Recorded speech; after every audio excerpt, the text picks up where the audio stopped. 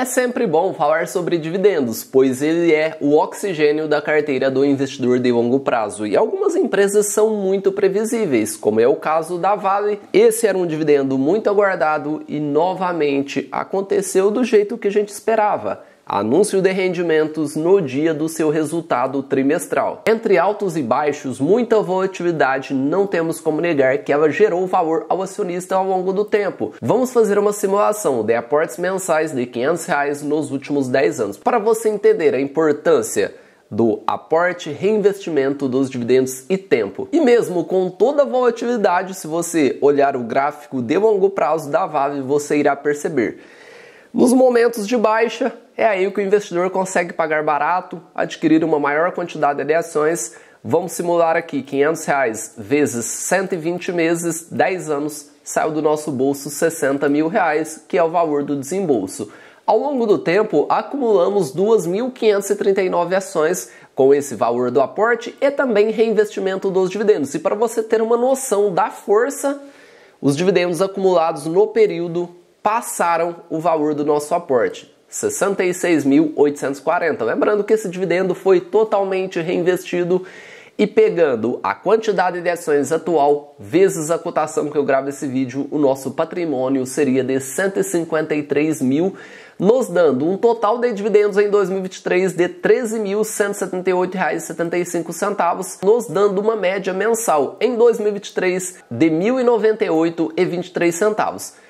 No ano de 2024, teríamos alcançado, até o momento, sem considerar esse novo anúncio, 6.569,77, nos dando uma média mensal, considerando 7 meses de R$ 938,54. Vale que praticamente andou de lado nos últimos 12 meses, apresenta uma variação negativa de 6,72, olhando múltiplos de valuation, por certo, é uma das mineradoras mais baratas do mundo.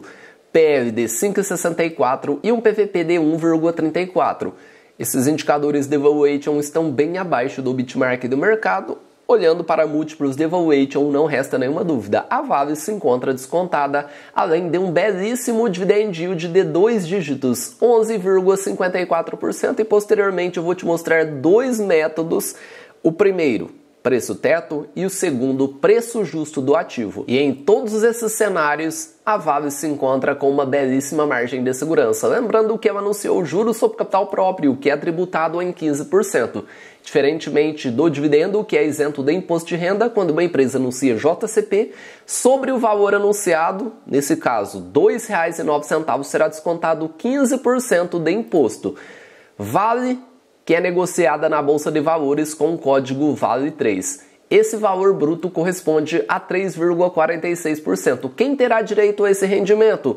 Quem dormir com as ações no dia 2 de 8 de 2024. Fazendo isso, você já garante o direito a esse pagamento que está previsto para cair na conta do acionista no dia 4 de 9 de 2024. E deixe aqui nos comentários se você irá receber esse valor e quanto você irá receber. Com certeza, deixando os valores, isso anima muita gente. No começo a gente recebe um real, dois reais de dividendos e ao longo do tempo essa bola de neve irá aumentar. E caso você queira ter acesso à lista de todas as ações que se encontram com rendimentos em aberto, para o ano de 2024, com tudo mastigado, tipo do anúncio, código da empresa, data com, o valor, data de pagamento, o yield atualizado todos os dias, até porque a cotação atualiza de forma automática, inclusive a Vale já está presente.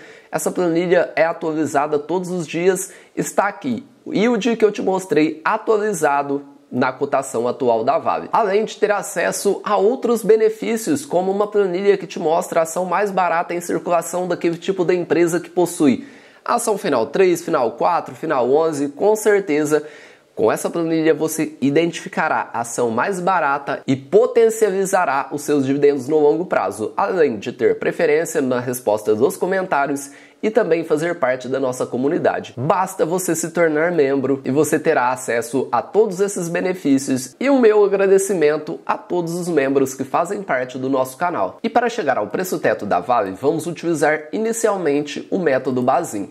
Ao lançar o código do ativo, a cotação aparece de forma automática. A média de dividendos dos últimos 5 anos é R$ 6,42. O método prega 6% de yield estimado. Vamos chegar ao preço teto da Vale de acordo com o método Bazin, R$ 107,08, uma margem de segurança de 76,7%. Essa estratégia não precisa ser engessada e eu vou te mostrar duas variações que eu acredito que se encaixa muito bem na Vale devido ao seu maior risco. É uma empresa de commodity, por isso sempre buscamos comparar esse ativo com a maior margem de segurança possível. E subindo a régua do yield estimado, com certeza estaríamos minimizando os riscos.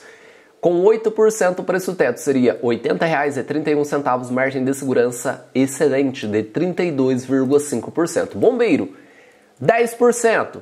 Nesse caso, o preço teto seria R$ 64,25, uma margem de segurança de 6,08 e mesmo sendo muito criterioso, a Vale ainda assim se encontra descontada. E não poderíamos deixar de falar sobre o preço justo de acordo com o modelo de Gordon, que é uma estratégia totalmente diferente da que eu mostrei anteriormente. Basin é o preço teto, ou seja, o preço limite para alcançar determinado yield. Já o modelo de Gordon, um modelo de crescimento de dividendos, que a gente projeta um crescimento desses rendimentos na perpetuidade e traz a valor presente. Com isso, chegaremos ao preço justo do ativo, diferentemente do preço teto. Vamos lançar o código do ativo. Eu gosto sempre de utilizar o dividendo projetivo. Só que em empresas de commodity, o mais prudente seria utilizar a média para sermos mais conservadores. E a média da Vale é R$ 6,42. Vamos calcular um crescimento desses dividendos na perpetuidade de 3%.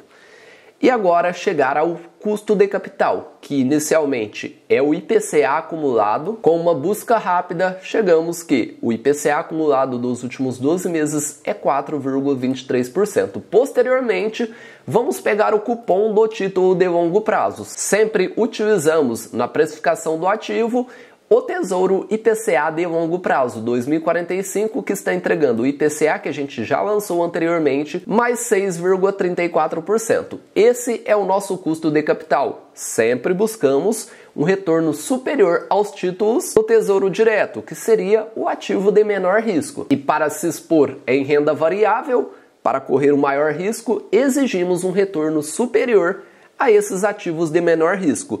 E lançando o cupom de 6,34, chegamos ao preço justo da Vale, de acordo com o modelo de Gordon, R$ 87,42. Ela se encontra R$ 26,00 e 85 centavos abaixo do nosso preço justo, com uma margem de segurança muito satisfatória de 44,3%. E agora vamos falar de um banco, o Banco Mercantil, que anunciou juros sobre capital próprio, um banco que apresenta uma grande valorização nos últimos 12 meses, de 243%. E mesmo com essa alta toda, opera com um PL de 7,32 e um PVP muito acima do benchmark de mercado. 2,14 significa que hoje você estaria pagando um grande ágio frente ao que o ativo vale no papel, com um dividend yield atual de 3,87%. E assim como a Vale, ele anunciou juros sobre capital próprio, banco mercantil, e ele possui duas ações em circulação, ação final 3 e final 4. Percebam que o valor será diferente